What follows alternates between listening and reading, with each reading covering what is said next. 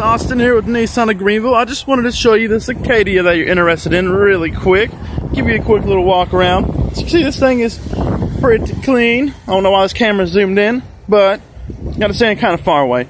Walk up here, show you the inside really quick. See, nice, clean, no rips, no tears. 25,000 miles. Come on over here to the back. Got plenty of room back here. And overall, it's a clean vehicle. Look at that. Got brand new tires. It's even got a tow hitch on it. Hey, just uh, let me know what you think. My name's Austin with Nissan of Greenville, and you can reach me at 903 503 0048. Thank you. Bye bye.